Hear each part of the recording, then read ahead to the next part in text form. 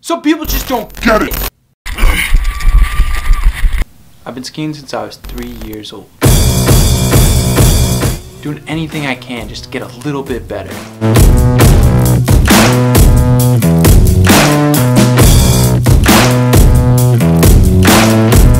The only thing that's ever mattered is this competition. But sometimes, fear of failure just stops you.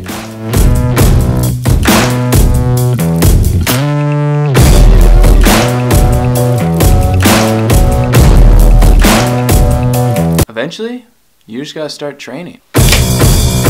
This is the year it all goes down.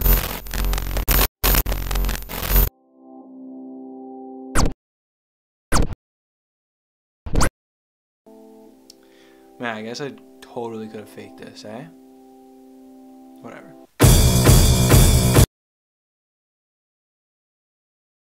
This is the most hilarious of my life.